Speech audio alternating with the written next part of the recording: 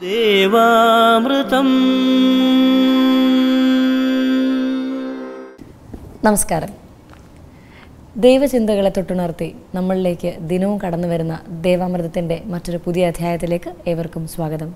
ആദ്യം നമുക്ക് ശ്രവിക്കാം ഗുരുസാഗരം ശ്രീ സജീവ് കൃഷ്ണന്റെ വാക്കുകളിലൂടെ. ഗുരുസാഗരം നിങ്ങൾക്കായി അവതരിപ്പിക്കുന്നത് luxury rooms and cottage A C convention centre. A C banquet halls sparkling swimming pools multi cuisine restaurant day package camp fire rain shower Cheruthuruthy eco gardens and eco friendly ayurvedic resort and spa Cheruthuruthy Thrissur സാഗരം അറിവിന്റെ സാഗരം. ഗുരുസാഗരം.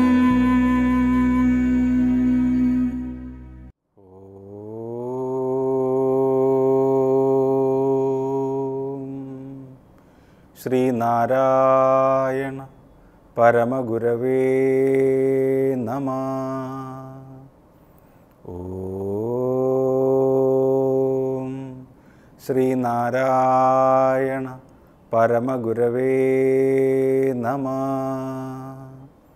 ഓം ശ്രീനാരായണ പരമഗുരവേ നമ. നമസ്കാരം. സമകാലിക ജീവിതത്തെ ശ്രീനാരായണ ഗുരുദേവ ദർശനത്തിലൂടെ നോക്കിക്കാണുന്ന ഗുരുസാഗരം പരിപാടിയിലേക്ക് ഏവർക്കും സ്വാഗതം. നമ്മൾ ചിലപ്പോഴൊക്കെ ചില കുടുംബങ്ങളിൽ നിന്ന് കേൾക്കാറുള്ളതാണ്. മൂത്തവന്റെ ഒരു സ്വഭാവമഹിമയും ഇളയവന് കിട്ടിയിട്ടില്ല. അവന്റെ പ്രകൃതമേ അല്ല ഇവന്. അവനൊരു പഞ്ചപാവം. ഇവനാണെന്നുണ്ടെങ്കിൽ എന്ത് ഒപ്പിക്കുമെന്ന് ആർക്കും ഒരു കാര്യത്തിലും പ്രവചിക്കാനായിട്ട് സാധിക്കില്ല. എന്തുകൊണ്ടാണ് ഒരു വീട്ടിലെ ഒരു അച്ഛനും അമ്മയ്ക്കും ജനിച്ച രണ്ട് മക്കളെ പറ്റിയിട്ട് ഇങ്ങനെ രണ്ട് അഭിപ്രായം വരുന്നത്? അവർക്ക് രണ്ട് പ്രകൃതം ഉണ്ടാകാൻ കാരണം എന്താണ്? നമ്മൾ കുടുംബമായിട്ട് ജീവിക്കുന്നവരാണ്. അപ്പോൾ ഒരു കുടുംബത്തിൽ തന്നെ നോക്കിയാൽ അച്ഛന് ഒരു പ്രകൃതം അമ്മയ്ക്കൊരു പ്രകൃതം മുത്തശ്ശന് ഒരു പ്രകൃതം മുത്തശ്ശിക്കൊരു പ്രകൃതം കൊച്ചുമക്കൾ ഓരോരുത്തർക്കും ഓരോരോ പ്രകൃതം. എല്ലാവർക്കും ഓരോരോ താല്പര്യങ്ങളുണ്ട് ഓരോരോ ഇഷ്ടങ്ങളുണ്ട് സ്വഭാവത്തിന് ഓരോരോ പ്രത്യേകതകളുണ്ട്. എന്നിട്ട് നമ്മളെല്ലാവരും ഒരു പൊതുവ്യവസ്ഥയിൽ കുടുംബമായും സമൂഹമായും ഒക്കെ ഒന്നിച്ച് കഴിയുന്നു എന്നേ ഉള്ളൂ. പക്ഷെ നമുക്ക് എല്ലാവർക്കും സ്വകാര്യമായ ഇഷ്ടങ്ങളും വാസനകളും ഒക്കെയുണ്ട് എന്തുകൊണ്ടാണ് മനുഷ്യൻ ഇങ്ങനെ വിഭിന്ന പ്രകൃതികളായി പോകുന്നത്? ഇതിന് ശ്രീനാരായണ ഗുരുദേവൻ വ്യക്തമായ ഒരു നിർവചനം നൽകുന്നുണ്ട്. ഈ മനുഷ്യരിൽ ഇത്രയും വിഭിന്നമായ പ്രകൃതങ്ങൾ ഉണ്ടാവാനായിട്ടുള്ള കാരണം അവന്റെ വാസനകൾ ത്രിഗുണങ്ങളെ അടിസ്ഥാനമാക്കി ഇരിക്കുന്നത് കൊണ്ടാണ്. ഇപ്പോൾ മൂന്ന് അടിസ്ഥാന വർണങ്ങൾ ചേർന്നിട്ടാണ് ഈ പ്രപഞ്ചത്തിൽ കാണുന്ന ഇത്രയും വിവിധങ്ങളായ വർണങ്ങൾ ഉണ്ടാകുന്നതെന്ന് സയൻസ് ക്ലാസ്സുകളിൽ നമ്മൾ പഠിച്ചിട്ടുണ്ട്. ഇതുപോലെ സ്വത്വം രജസ് തമസ് എന്ന് പറയുന്ന മൂന്ന് ഗുണങ്ങളാണ് മനുഷ്യനിലുള്ളത്. ഇത് പല അളവിൽ ആയിരിക്കും ഓരോരുത്തരിലും ഉണ്ടാവുക. ചിലർക്ക് സത്വഗുണം കൂടുതലായിരിക്കും. അവർ ശാന്തരും സമാധാനപ്രിയരുമായിരിക്കും വളരെ ദൈവഭക്തരായിരിക്കും. ചിലർക്ക് രജോ ഗുണമായിരിക്കും കൂടുതൽ. അവർ വളരെ അത്യധ്വാനികളായിരിക്കും. അവർക്ക് പേരും പ്രശസ്തിയും ഒക്കെ വേണം. അപ്പോൾ അതിനനുസരിച്ച് ഉള്ള കർമ്മങ്ങൾ അവർ എന്താണ് ഫല ഇച്ഛയോടുകൂടി ചെയ്തുകൊണ്ടിരിക്കും. തമോ ഗുണമുള്ളവർ അവർ കുറച്ച് എന്താ പറയുക അവർ അലസരായിരിക്കും. അവർക്ക് അനങ്ങാതെ ഇരിക്കുന്ന മടി പിടിച്ചിരിക്കുന്നതായിരിക്കും ഏറ്റവും ഇഷ്ടം. അതുപോലെ ദുശീലങ്ങൾ അവർക്ക് വളരെ താല്പര്യമുണ്ടായിരിക്കും. മദ്യപിക്കുക പുകവലിക്കുക മയക്കുമരുന്ന് ഉപയോഗിക്കുക. ഇങ്ങനെയുള്ള ദുശീലങ്ങളിലൊക്കെ ഈ തമോ ഗുണം കൂടുതലുള്ളവർക്ക് താല്പര്യം കാണും. അപ്പം ഇതെല്ലാം വ്യത്യസ്തമായ പ്രകൃതിയിലാണ് ഓരോ പ്രകൃതത്തിലാണ് ഓരോ മനുഷ്യരിലും അടങ്ങിയിരിക്കുന്നത്. അതുകൊണ്ടാണ് എല്ലാവർക്കും വിവിധങ്ങളായ പ്രകൃതം ഉണ്ടാകുന്നത് ഈ ലോകത്ത്. അപ്പോൾ ഇവരെല്ലാവരെയും കൂടി ഇത്രയും വ്യത്യസ്തങ്ങളായ പ്രകൃതക്കാരെ എല്ലാവരെയും കൂടി ഒരു പൊതു സമൂഹത്തിൽ അച്ചടക്കത്തോടു കൂടി കൊണ്ടുപോകണം. കാരണം പല സ്വഭാവക്കാർ അങ്ങും ഇങ്ങും ഇടപഴകുമ്പോൾ വഴക്കുണ്ടാകാം കലഹമുണ്ടാകാം. ഒരാൾ ഒരാളെ കൊലപ്പെടുത്തിയെന്ന് വരാം. ഒരാൾ മറ്റൊരാളുടെ സ്വൈരമായ ജീവിതത്തെ തടഞ്ഞു എന്നൊക്കെ വരാം. അപ്പോൾ അങ്ങനെ സംഭവിച്ചെന്നാൽ സമൂഹം അരാജകത്വത്തിലേക്ക് പോകും. അച്ചടക്കമുണ്ടാവില്ല. ആർക്കും ഇവിടെ സ്വസ്ഥമായിട്ട് ജീവിക്കാനായിട്ട് സാധിക്കില്ല. അതുകൊണ്ട് എല്ലാവരെയും ഒരു പൊതു വ്യവസ്ഥയിൽ കൊണ്ടുപോകണം. ഇതിനെന്ത് ചെയ്യുമെന്ന് പ്രാചീന കാലത്ത് ഋഷിമാർ തൊട്ട് ആലോചിച്ചുകൊണ്ടിരുന്നു. ഒടുവിൽ അവർക്ക് കിട്ടിയ ഒരു വെളിപാടാണ് ദേവസങ്കല്പം എന്ന് പറയുന്നത്.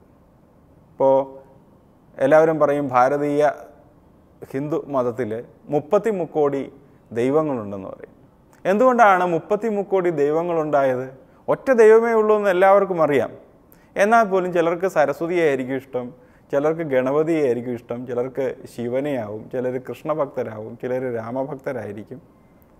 ദേവീ ഭക്തരുണ്ട്. ദേവിയിൽ തന്നെ ദുർഗയുണ്ട് കാളിയുണ്ട് ഭദ്രകാളിയുണ്ട്. ഇങ്ങനെ ഒരുപാട് പ്രകൃതങ്ങളുള്ള ദേവതകളുണ്ട്. ഇവർക്ക് എല്ലാവർക്കും ഇവിടെ ആവശ്യത്തിന് ഭക്തരുമുണ്ട്. ഇപ്പോൾ പുരാണത്തിലെ ചില കഥാപാത്രങ്ങളെയൊക്കെ ദേവന്മാരായിട്ട് വെച്ചിട്ടുണ്ട്. ദുര്യോധനൻ വരെ ദൈവമാണ്. കായംകുളം കൊച്ചുണ്ണി ദൈവമാണ് ഒരു ക്ഷേത്രത്തിൽ ഇങ്ങനെ ഒരുപാട് പ്രകൃതമുള്ള നല്ലതും ചീത്തയുമായ ദേവന്മാരുണ്ട് ഇവിടെ. അവർക്കൊക്കെയും ഇവിടെ ഭക്തരുമുണ്ട്. എന്തുകൊണ്ടാണെന്ന് ചോദിച്ചാൽ ഞാൻ നേരത്തെ പറഞ്ഞ ഈ മുപ്പത്തി മുക്കോടി പ്രകൃതം മനുഷ്യനിലുണ്ട്. ഓരോരുത്തർക്കും ഓരോ ഇഷ്ടമാണ്. അപ്പോൾ അവർക്ക് ഇഷ്ടമുള്ള പ്രകൃതവുമായി നിൽക്കുന്ന ദേവതയെ അവർ സ്വീകരിക്കും. ഈ ദേവസങ്കല്പം ഋഷിമാർ ഇവിടെ അവതരിപ്പിച്ചത് തന്നെ വ്യത്യസ്ത താല്പര്യമുള്ളവരെ ദൈവത്തിലേക്ക് അടുപ്പിക്കാനൊരു മാർഗം എന്നുള്ള നിലയിലാണ്. ശരിക്കും പറഞ്ഞാൽ ഈ ദേവൻ ദേവഗണങ്ങളൊക്കെ നമ്മുടെ ശരീരത്തിനുള്ളിൽ തന്നെയുണ്ട്. ഇപ്പോൾ കണ്ണുകൊണ്ട് നമ്മൾ കാണുന്നു. പക്ഷേ ഈ കണ്ണെന്ന് പറയുന്ന വസ്തു അതിൽ ജീവനില്ല എന്നുണ്ടെങ്കിൽ നമുക്ക് കാണാനായിട്ട് സാധിക്കില്ല. അപ്പോൾ കാഴ്ച എന്ന് പറയുന്ന ഒരു ഗുണം അവിടെയുണ്ട്. കാഴ്ച എന്ന് പറയുന്നത് ഒരു ശക്തിയാണത്. ആ ശക്തി ഒരു ദേവതയാണ്. നമ്മുടെ ഘ്രാണശക്തി ഒരു ദേവതയാണ്. നമ്മൾ ഈ കേൾക്കുന്ന ചെവിയല്ല കേൾപ്പിക്കുന്നത്. അകത്ത് അത് കേൾക്കുവാൻ പാകത്തിനൊരു ശക്തിയുണ്ട്. അതാണ് നമ്മെ അത് ശ്രവിപ്പിക്കുന്നത്. അതൊരു ദേവതയാണ്. അപ്പോൾ ഇങ്ങനെ ഒരുപാട് ദേവതകൾ നമ്മുടെ ശരീര പ്രകൃതത്തിനുള്ളിൽ അടങ്ങിയിട്ടുണ്ട്. ഈ ഇന്ദ്രിയങ്ങളാകുന്ന പഞ്ചേന്ദ്രിയങ്ങളാകുന്ന ആ ഘടകങ്ങളിൽ അധിവസിക്കുന്ന ദേവന്മാരുടെ എല്ലാത്തിന്റെയും കൂടി അധിപതിയെയാണ് നമ്മൾ ഇന്ദ്രൻ എന്ന് വിളിക്കുന്നത്. ഇന്ദ്രിയങ്ങളുടെ അധിപതിയാണത്. നമ്മൾ അങ്ങനെ ഒരു മൂർത്തിയെ സങ്കല്പിച്ച് ഉണ്ടാക്കിയതാണ്. ഇപ്പോൾ ഇന്ദ്രിയങ്ങളുടെ അധിപതി ആയതുകൊണ്ട് കുറച്ച് കുരുത്തക്കേടുകളൊക്കെ അദ്ദേഹത്തിനുണ്ടാവും. അതൊക്കെയാണ് ഈ പുരാണത്തിൽ ഇന്ദ്രന്റെ കുഴപ്പങ്ങളായിട്ടൊക്കെ പറയുന്നത്. അപ്പോൾ ഇത്തരം ഒരുപാട് ഘടകങ്ങളെ ദേവസങ്കല്പത്തിൽ കൊണ്ടുവന്നിട്ട് എല്ലാ പ്രകൃതക്കാരെയും അവർക്കിഷ്ടമുള്ള ദേവസങ്കല്പത്തിലൂടെ ദൈവത്തിലേക്ക് പരമമായ ദൈവത്തിലേക്ക് ഏകമായിരിക്കുന്ന ദൈവത്തിലേക്ക് കൊണ്ടുവരുവാനായിട്ടുള്ള ഒരു ശ്രമമാണ് ഇവിടെ നടത്തിയത്. അതുകൊണ്ടാണ് ഇത്രയും ദേവതകൾ നമുക്ക് ചുറ്റിനുമുണ്ടായിരിക്കുന്നത് വിവിധ മതങ്ങളുണ്ടായതും ഇത് തന്നെയാണ്. കാരണം നിലവിലുള്ള ദേവതാ സങ്കല്പത്തിൽ വിശ്വാസം ഇല്ലാത്തവർക്ക് വേണ്ടിയിട്ടാണ് മറ്റു മതങ്ങൾ ഇവിടെ പ്രചരിക്കപ്പെട്ടത്. അപ്പോൾ അതും ഇതിന്റെയൊക്കെ ഒരു ഭാഗമായിട്ട് തന്നെ നിൽക്കുന്നതാണ്.